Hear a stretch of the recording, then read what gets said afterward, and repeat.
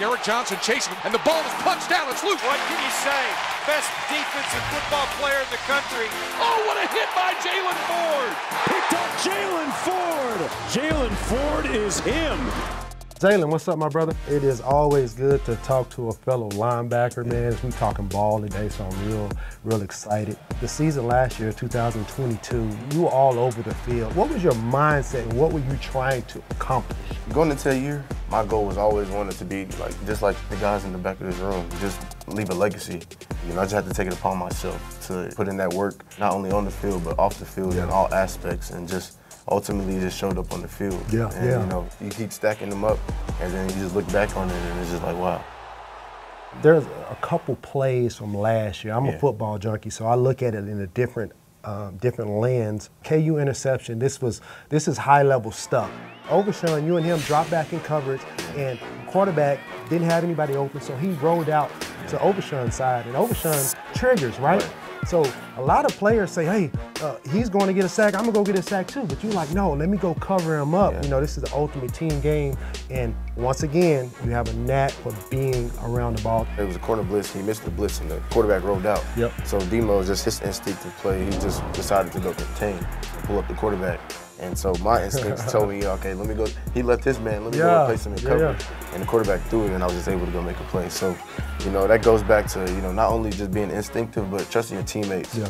Um, and just being a, a true linebacker. What I hear you saying is being able to function during chaos is big for linebackers. We we're different from D linemen. We're different from like we don't we don't put our hand in the dirt and, and lose focus, right? We gotta actually set up everything and be that I staple. say like, especially the, the middle linebacker spot is just around the ball all the time. Yeah, you're the general of the defense. Like 41 is the staple of that defense. So when I look at the Longhorns defense, especially this past year, Mm-hmm. I'm looking at 41 because 41 is the Mike linebacker. That's the That's guy. the guy. A lot of people don't understand like the role of a, of a linebacker truly in the defense. Like um, you have a lot of responsibility, and so I think that Mike position is like uh, it's kind of like the quarterback. You know, a lot of eyes on you. Yeah. That's why you're able to make so many plays, especially if you have effort. You know. Get the popcorn ready. Everybody get the popcorn ready. Let's be honest, you're a guy. here. so um, you know, everybody knows Derrick Johnson. When we watch your film, we see effort.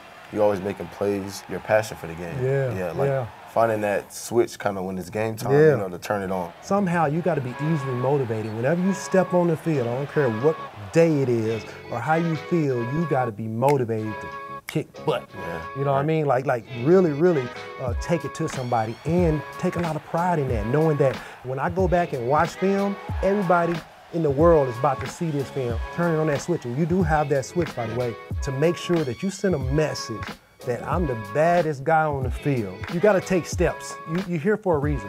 You, you can't be the same. You can't be the same last year. We, we, we loved Jaylan last year. We need a better Jaylan. Your expectation for yourself needs to be higher than everybody else because you, you're going to hold yourself at the highest level possible. I was a five star. Uh, you, you were a three star, right? I was always motivated and intrigued by guys that were two star or three star players because I'm like, man, this guy is working his tail off. What was your motivation coming in knowing that I don't have a lot of stars, but I got a lot of heart? You know, I've never been a guy that's always wanted the spotlight or really cared for it. Mm-hmm. For me, I think it was just, uh, I just got the opportunity to play the game I love. Everybody's not gonna view you the same. You might not be the fastest, the most, you know, athletic. Having that heart to go out there and want to be great, you know, Yeah. have, want to be, like you said, the best person out there. I think holding myself to that standard, even from high school, being a three star, has kind of got me to that point. when you're playing here, you don't realize that you're going to have your name up. And when Yeah, they are your awards, Yeah, man. yeah, I know. Like these are literally my awards. To have the, the, the best defensive player in the nation award and the best linebacker in the nation. So I won this coming back from my senior year. Something that you are pursuing. You talk about legacy. What does this mean to you to look at this and say, hey, I, it's an opportunity, Yeah. opportunity of a lifetime that you can you can make this happen. if I'm able to get this, you know, looking back on it years from now, it'll be, it'll still be there. That's what pushes me is just wanting to be the best possible player I can be. And winning these awards kind of solidifies that. As far as legacy, just when people think about linebackers at University of Texas, they just mention me.